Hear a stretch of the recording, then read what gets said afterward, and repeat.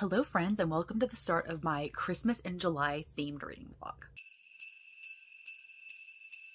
It has been a while since I've vlogged. Ever since starting work at the Humane Society, I haven't really been able to vlog all that much because I haven't had the time to edit vlogs, so I've had to kind of put those on the back burner and I really missed it. I felt like I was catching up with you on a weekly basis and I just haven't been able to do that recently. But I had the idea for this Christmas in July vlog because if you remember, for Bookmas last year, I bought a ton of Christmas slash holiday themed romance books and I did a series where I was reading the first chapter of each book to see like which ones I was the most interested in so that I could read them. But I didn't actually end up reading any of them. I was so ensconced in a TBR that I had already set and just like trying to catch up on things that I never read any of them. So I still have all of those books just kind of hanging out on my TBR shelf. And so I was like, there was probably no way that I'm going to be able to read all of these books in just like December, especially with all of the other things that I'm trying to do by the end of the year. So why not try to knock some of them out sooner than that? And I know that a lot of places and other things do a Christmas in July type of situation. And so I was like, yes, I'm going to do that. I do have the very first book that I've started already, and that is A Very Merry Bromance by Lyssa Kay Adams. I've only read the first book in this series. I haven't read books two, three, four, and this is book five, but I already have it, and so I wanted to go ahead and read it. And that's especially true because for my TBR, I actually drew the challenge of reading the next book in the Bromance Book Club series. And so technically that should be book number two, but since I already have this, and since I was going to be doing this vlog, I figured it would be perfect to go ahead and just pick this one up. I'm only 25 pages in, so I don't have a gist of what it's going to be about. Let me really quickly read the back to give you a more thorough idea of what this is about. Country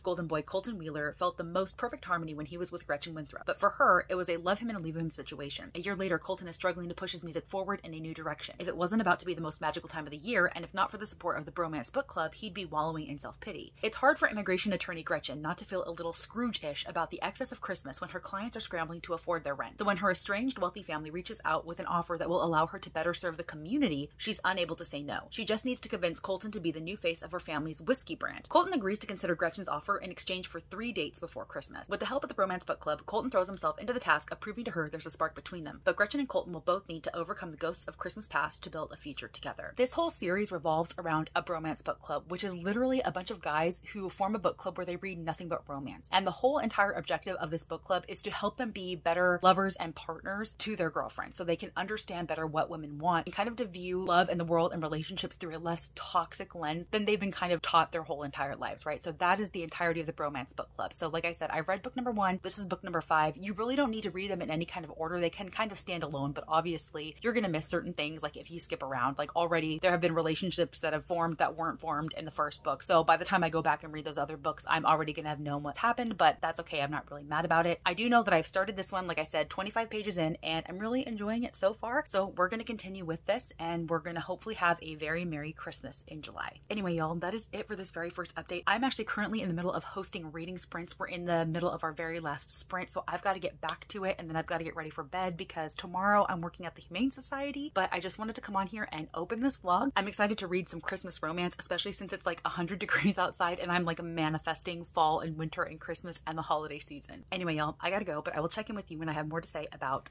A Very Merry Bromance.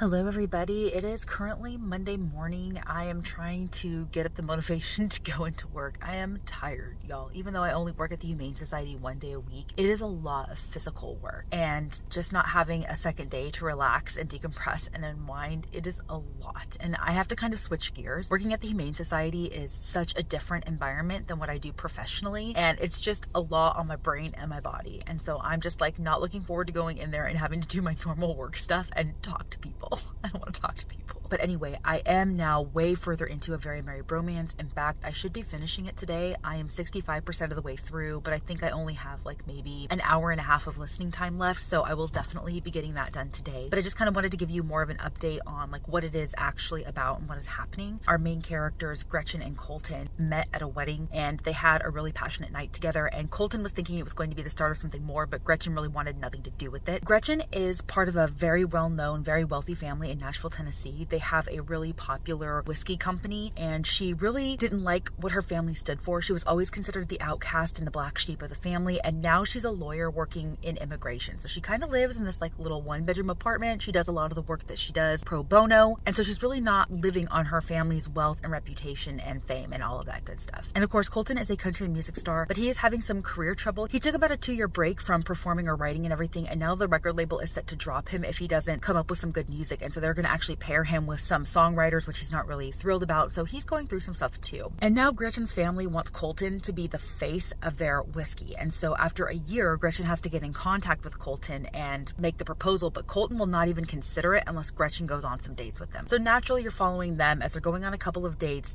and things are just kind of progressing from there. And I mean, overall, I find this to be very cute. Like I said, it's very easy to read and fly through, but I'm not really getting the oomph factor for this. I don't really think I'm going to be getting the substance that I look for. I do, however, like the dynamic between Gretchen and Colton. I like how Colton can see Gretchen for who she is and what her passions are, and he can really appreciate that. And I do like the fact that Gretchen has separated herself from her toxic family because even though they are definitely prestigious, they are well known, they have a really successful business, a lot of who they are and what they do are very toxic in nature. And so she's very much separated herself from that. So I like seeing that dynamic. So there are definitely some complications, there are some conflicts and everything like that, but it's just, it's not really giving me the oomph that I'm looking for. So while I'm enjoying myself during this reading experience, and I do enjoy Lyssa Kay Adams' writing overall, I just don't necessarily think that this is going to be like a memorable romance read for me. Right now, I'm sitting at about a three, possibly a 3.5 stars at most, but we're gonna see. I still have 35% of the book left, but like I said, that's only like an hour and a half of listening time left. So I will tear through this tonight and I will give you a final update once I have one. Anyway, y'all, it is time for me to go ahead and head into work and I will give you an update once I've finished A Very Merry Bromance. Hey y'all, so we are here. It's a little bit later on Monday night. We are here in this spectacular lighting with me looking like a hot mess as per usual because I just got my July FairyLoot, so I thought I would unbox it here. But also, I just finished A Very Merry Bromance by Lyssa Kay Adams, and I wanted to go ahead and give you an update. So I think I may need to eat my words a little bit from the clip that I gave just earlier this morning because this book ended up being a lot harder hitting than I thought. It wasn't necessarily like an emotional gut punch. It's not something that's going to make me cry or anything, but there were a lot of underlying issues in this story, particularly with regard to Gretchen and her family. You find out a lot about what Gretchen experienced growing up and how awful her older brother was to her and how kind of neglectful and aloof her parents were. And I don't think I mentioned this in a previous clip, but one thing about Gretchen is that she absolutely hates Christmas. And Colton was out on a mission to like show her what magic Christmas could bring. And you just kind of find out why exactly she hates Christmas because she never really had a real one, you know, and she never really had a family that would want to celebrate Christmas. You know, as I mentioned before, she was always kind of the outcast, the black sheep. She never really felt like she belonged, and her brothers were just awful to her, and she just never really had a good family life. So why would she like Christmas? A lot of the story was focused on her and her issues with her family, and I really enjoyed that aspect of it because it brought a level of depth and dimension to the story, and it added the oomph that I was looking for. So I think I'm gonna go ahead and give this a solid four stars. I really enjoyed the characters of Colton and Gretchen, and I really loved how Colton saw and treated Gretchen, and I just liked Gretchen as a character overall. She was just such a strong woman who was willing to fight for justice and fight for what was right. Overall, this ended up being a lot stronger than I was thinking it was going to, and so I'm gonna go ahead and give it a four stars. And it is time to move on to the next read of this vlog, which I haven't actually chosen yet, but as soon as I've chosen it, I will come on and give you an update about it, of course. But for now, let's go ahead and unbox the July adult book only FairyLoot. So here's the spoiler card. It looks like the theme is Eternal Power. I have no idea what this book is. I don't get spoilers or anything like that, so I have no idea. As usual, all I see first are brilliant sprayed edges. So here's the book, and it is Immortal Longings by Chloe Gong. Okay, so I'm going to admit that I'm not really all that interested in this story. I talked about it recently in my July new releases, and I did see that it was a book of the month selection for July, and I completely passed right over it. So I may end up going ahead and passing this along. I'm not sure. Let me read to you what it's about. It says every year thousands flock to San-Er, the dangerously dense capital twin cities of the Kingdom of Talin, where the palace hosts a set of deadly games. Those confident in their ability to jump between bodies can enter a fight to the death for the chance to win unimaginable riches. Matches. Princess Calla Tuoleimi has been in hiding for five years ever since she murdered her parents to free the people of Talin from her tyrannical family. Okay, that sounds promising though. Only one person stands in her way of finishing the job, her reclusive uncle King Kasa. However, she knows he always greets the victor of the games. If she wins, she will finally get the chance to kill him. Enter Anton Makusa, whose childhood love has lain in a coma since they were both ousted from the palace. He's deeper in debt trying to keep her alive, which means his last chance at saving her is entering the games and winning. When Anton proposes an unexpected alliance with Calla, they quickly find their partnership spiraling into something all-consuming. But before the games close, Calla must decide what she's playing for, her lover or her kingdom. For no matter what, only one of them can walk out alive. Okay, so now that I'm rereading that synopsis, does have my interest a little bit peaked. But let me go ahead and show you this edition in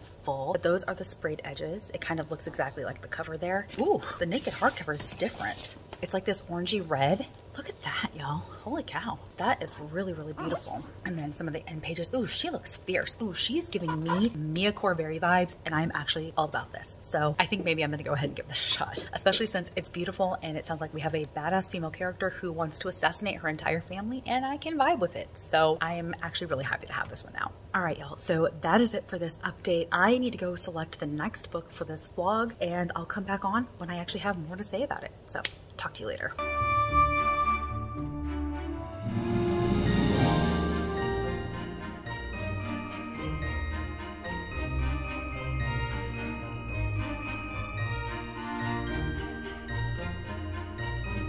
Hi friends, so it is currently Tuesday morning. I am at work, obviously, and I just wanted to come on here and give you an update because last night when I was giving you my update, I hadn't yet selected my next read for this vlog, and I have since selected The Matzah Ball by Jean Meltzer. So this follows our main character, Rachel Rubenstein Goldblatt, and she is from a prominent Jewish family in New York, so naturally her Jewish heritage and all of that stuff is very, very important to her. However, Rachel is actually harboring a pretty big secret. She loves Christmas. She is obsessed with Christmas and not only that, but she has written like 20 very successful Christmas romances, and some of them have actually been adapted into made for TV movies. So Christmas is a huge part of her life. But she can't share that with basically anybody because she thinks her family would be deeply ashamed, and she also thinks that it would negatively affect her father, who is a very well known rabbi in their community. So she is keeping this a secret, but then one day she is meeting with her agent and editor and all of that stuff, and they actually tell her that they don't want her to write Christmas romances currently. They actually want her to write a Hanukkah romance. And this completely throws her for a loop because to her, Hanukkah is not magical like Christmas. She has no idea how she's actually going to go about writing this. She's so uninspired. She does not want to do this. Then one day she gets inspiration when she's reading a newspaper article and she sees information on this matzah ball, which is basically kind of like an event, a gathering, a dance, if you will. And she is determined to go ahead and get tickets even if they are sold out. But there is one additional catch. And the person that is throwing the matzah ball is Jacob Greenberg. And Jacob Greenberg is somebody that she knew when she was 12 years old. They went to Jewish summer camp together and they had kind of this little romance until Jacob pulled a prank on her and deeply humiliated her. And it's something that she's never really been able to let go of. And now she sees that he is the one that she is going to have to contact in order to get tickets. But not only that, her family is hosting him for Shabbat and she has been invited to come because her parents want to set her up with Jacob, which of course she doesn't want, but she's going to go and she's going to meet with him because she has to get these tickets. So I've actually just gotten to the point where she and Jacob are reconnecting for the first time. They haven't really actually had a conversation, so nothing has been revealed. But apparently it turns out that Jacob seems to feel like he was the one that was wrong wronged back in summer camp, like he feels that Rachel broke his heart and not the other way around. So there's definitely going to be some miscommunication, I feel, that is happening here, and I'm interested to see their dynamic and how they resolve it. I have never really read a Jewish romance or a Jewish holiday story or anything like that, so there's a lot of information here that I was not familiar with. I'm completely ignorant about the Jewish faith. So I find a lot of that really fascinating, and I kind of want to see how this develops between Rachel and Jacob. Now, I'm really not convinced that something that happened to both of them when they were just 12 years old has impacted them so profoundly, but I'm gonna see how it all kind of comes together because I mean, really, I get having things in childhood impact you in such a deeply profound way, but both of them separately are kind of like claiming how much they really loved and cared for the other person and the other person broke their heart. And I really just don't see having such a substantial and meaningful relationship at just 12 years old. Now, that could be just from my perspective because I certainly wasn't in relationships at 12 years old, and maybe I'm the wrong one here. We're gonna see. I know that I'm already really curious to see their first interactions and see what is going to happen, so I'm here for it. And I really enjoy Rachel's obsession with Christmas, even though she is Jewish. I personally am a big Christmas person. I love the holiday season, and I can definitely see the magic that Rachel sees in Christmas. And so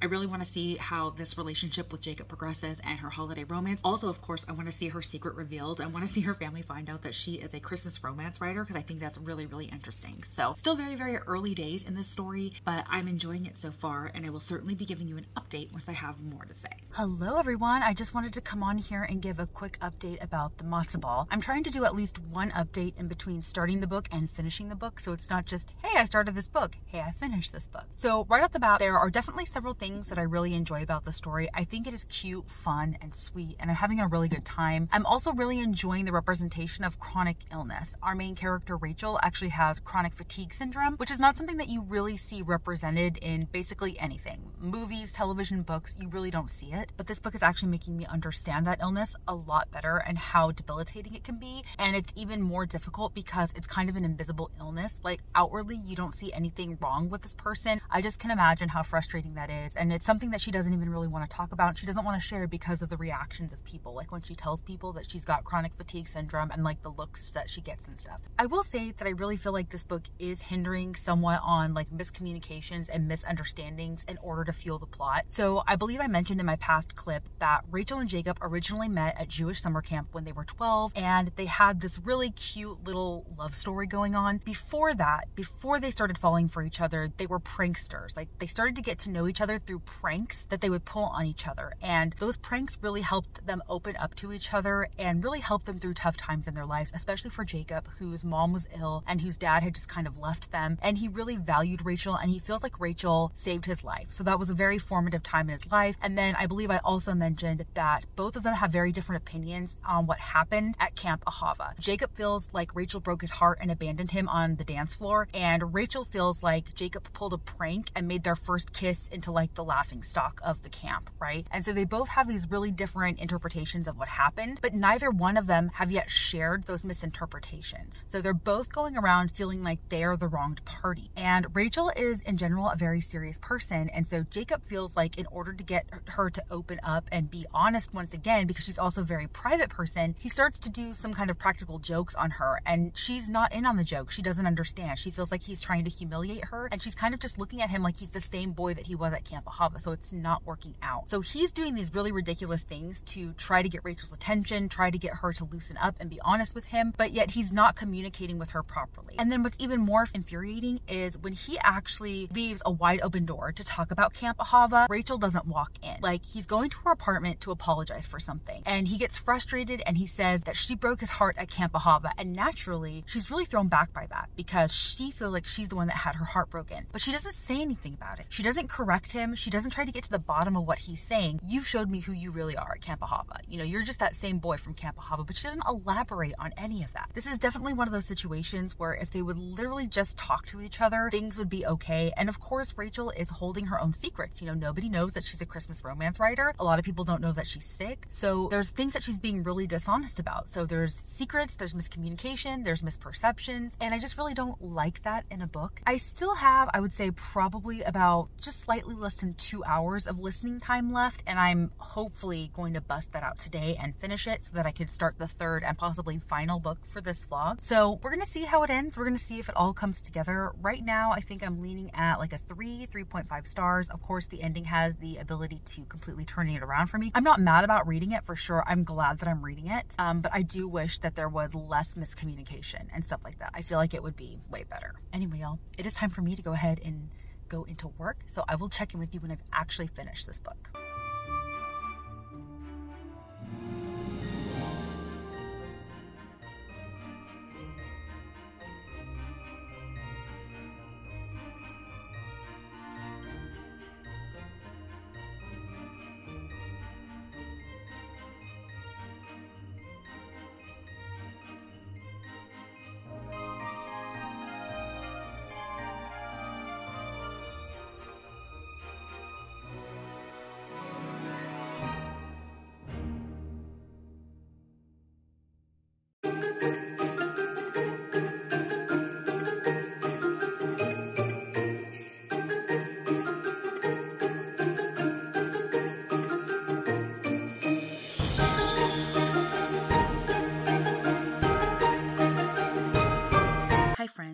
Actually currently getting ready to head out to work, but I had a couple of minutes and I literally just finished The Matzah Ball by Jean Meltzer, so I thought I would come on here and wrap it up for you. And unfortunately, I'm sad to say this didn't do a whole lot for me. As I believe I mentioned in a previous clip, there were some aspects of this that I really enjoyed, like the chronic illness representation. I loved the fact that our main character was a closeted Christmas story writer, and I loved the magic that she saw in Christmas. And I actually liked some of the banter between Jacob and Rachel overall, but that was about it. I really didn't like all of the misconceptions, misunderstandings. I also didn't like the dishonesty. Rachel, throughout almost the entirety of the book, was lying to somebody about something. And one thing about the story that I wasn't expecting was insta love. I don't know if I mentioned this previously, but basically, Jacob has been living in Paris for the past 20 some odd years. Since his mother got ill and his father basically abandoned them, they moved to Paris because that's where his mother was from. He hasn't been back to New York since, and the only reason why he is back in New York is to throw his matzo ball. So he is expected to only be in New York for eight or nine days, and then he's headed back to France. And so within just a week and a half, it goes from zero to 100. Jacob and Rachel haven't seen each other since they were 12 years old. And again, a lot of misunderstandings, misperceptions. And then they go from that to I love you, I want to spend the rest of my life with you within eight days. And I just could not get behind that, especially because I didn't really feel any chemistry between these two characters. I don't think Jean Meltzer did a great job at all of convincing me as a reader that these two belonged together, that they had undeniable chemistry or anything like that. And I certainly wasn't going to believe that based on a relationship that they had at 12 years old. That to me was still the most implausible thing about this story. I think it might have worked a lot better had they been high school students. Like if they had been 15 or 16 years old, I could have possibly gotten behind that. Like I couldn't get behind something so traumatic happening to these two at 12 years old that they never forgot each other. So much so that now, almost two decades later, they're able to just instantly fall in love with each other. And again, there was really no chemistry. There was no heat between them. I really love slow burn romances. I need that sexual tension in order to get me invested into the relationship. And there was absolutely none of that in here. I feel like this would have been a little bit more believable had they decided to start a relationship at the end of the eight days, not when they were full on confessing their love for each other by the end of that eight days, if that makes sense. So I think I'm only going to give this one a three stars. I had a good time overall while I was reading it. It was a pretty fun time for the most part, but just didn't do it for me. I'm probably going to forget everything about it in just a couple of weeks. And I think I'm going to ultimately end up selling it on Pango at some point. So I am glad that I read it because it was on my physical TBR. It is something that I had bought to read and now I have read it and I can let it go. That is my update for this next book for this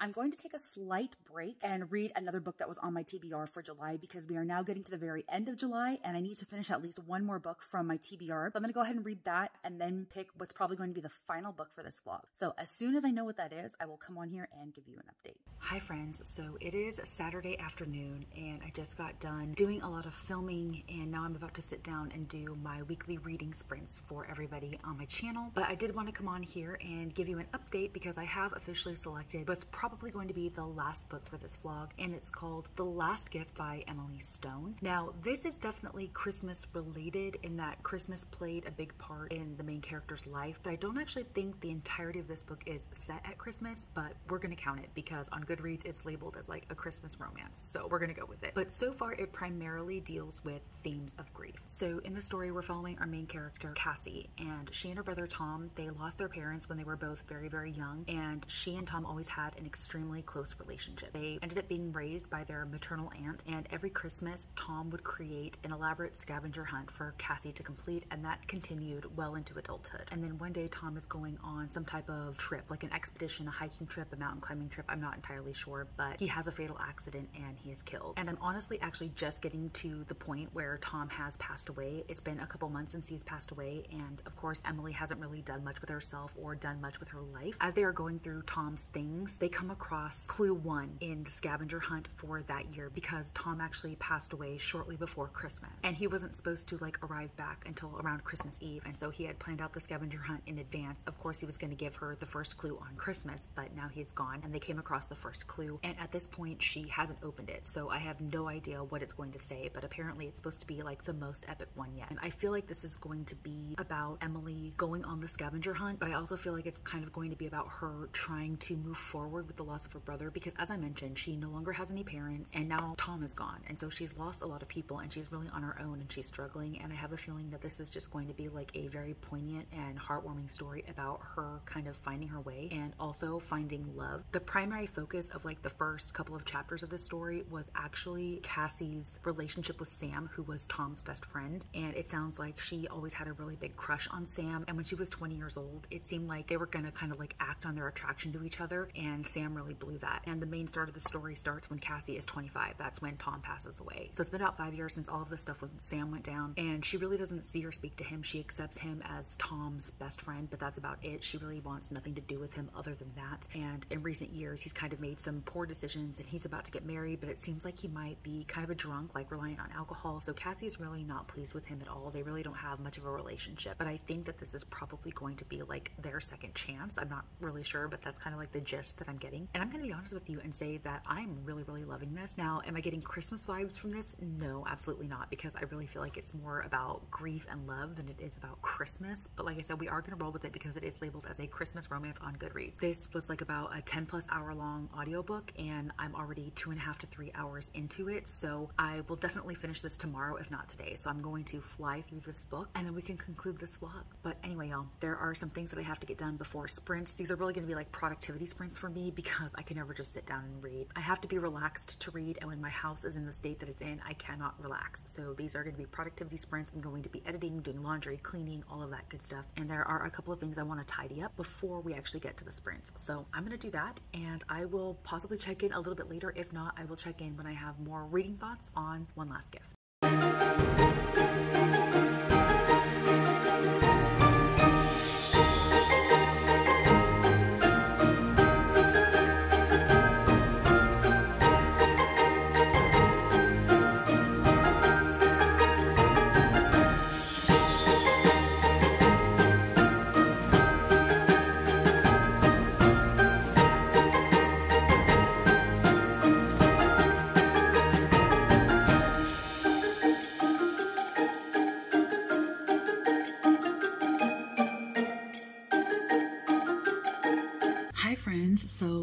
Actually been several days since my last update. I actually finished One Last Gift on Sunday. So I started it on Saturday and finished it on Sunday because I was able to blow through it really quickly. But I am going to be honest and I just have not had the bandwidth to sit down and do a final update and close out this vlog. I don't feel like I have too terribly much more to say about the story outside of what I already said in the first clip. I will say that I noticed that throughout that entire first clip when I was talking about the book that I kept calling the main character Emily which is the author's name, not the main character. I believe the main character's name was Cassie. But I ended up really enjoying this story. It was probably the strongest of the three. And also, even though there is a romance in this story, it is not the focus of the story. This really is about Cassie and her grief over the loss of her brother Tom. And I feel like the relationship is secondary. So the fact that this is labeled a Christmas romance is accurate, but it's not. I feel like you're definitely getting a lot more when you're going into the story than just a Christmas romance. So overall, I very much enjoyed the story. Y'all know that I do enjoy a story that focuses on grief because I feel it's a very understandable and bonding experience that we all go through. I really enjoyed Cassie's relationship with her brother Tom. I thought it was beautiful and sweet, and I could just feel the horrific loss after he passed away. That's especially true because they were orphaned so young. So now she really doesn't have anybody. And for the longest portion of this book, she was estranged from Sam. And she kind of actually blamed him for Tom's death because he was supposed to be going on the same trip as Tom on their like hiking expedition. And she feels like if Sam had been there, he wouldn't have died. So there are many years when she doesn't have positive feelings towards Sam and she wants nothing to do with him. But of course, it all gets resolved in the end and they really end up making their way back to each other. So it was definitely sweet and heartwarming. There were a lot of touching moments. I thought this was pretty well written, and like I said, it was easy to fly through, and I would definitely be willing to read more from Emily Stone in the future. I believe she has at least one other book out on her backlist, and anything that she comes out in the future, I would be willing to read because I thought that this was such a strong story. So even though it definitely didn't give me like the Hallmark Christmas romance vibes, to be honest, none of these books did. It was definitely the strongest of the three, and I enjoyed it a lot. So that's it, y'all. I think that this is going to be the end of this vlog. I ended up reading three books, which I'm pretty proud of, especially since I started so late in July opening this vlog. But I had a really good time doing it, even though I feel like the books that I chose weren't as Christmassy as I wanted them to be. I think the only one that really truly gave me the Christmas romancy vibes was A Very Merry Bromance. They all definitely had Christmas themes in them throughout the story, so that was good. Anyway, I hope that you enjoyed this vlog, but for now, I'm gonna go ahead and get back to work. So I will see you in the next video and the next vlog. Bye guys.